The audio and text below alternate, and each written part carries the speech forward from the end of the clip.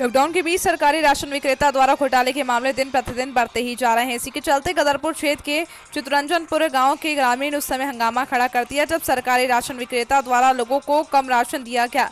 जिसके चलते ग्रामीणों ने हंगामा कर सरकारी राशन विक्रेता पर कार्रवाई की मांग की है। कोरोना वायरस के पूरे देश में लॉकडाउन लगा हुआ है, जिस कारण सभी का कामकाज ठप पड़ा है और लोग दाने दाने के लिए मोहताज हो गए हैं, जिसको देखते हुए हर कोई गरीबों की मदद कर रहे हैं।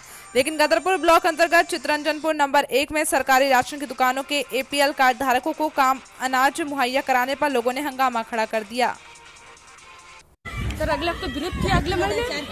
अगले महीने विरोध किया, फिर हमें सर मिला साढ़े छह किलो। नहीं तो हमें सर मिलता है साढ़े चार किलो ही मिलता है राशन और कार्ड में साढ़े सात किलो दिखता है। तो सर, सिर्फ़ सफ़ेद वाले पीले कार्ड भी गरीब है, सफ़ेद कार्ड वाले गरीब नहीं है सर। सब गरीब है। हमारे उधर भी भूखे, हमारे भी बच्चे भूखे हैं हमारे उधर भी।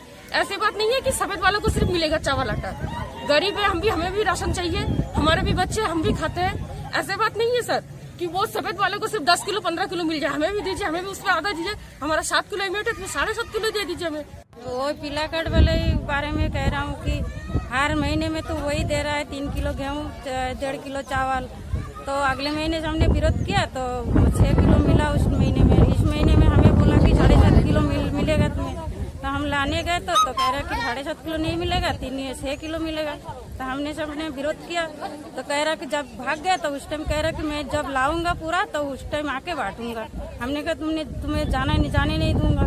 जो सरकार द्वारा इस टाइम डबल दुगना राशन देने की बात कही गई थी कि प्रति माह आपको साढ़े सात किलो की जगह पंद्रह किलो दिया जाएगा, लेकिन आज सत्ताईस तारीख हो चुके हैं। अभी हमारे गाँव चित्रंजनपुर में एक बार भी राशन नहीं बटा है पीला कार्ड धारकों को।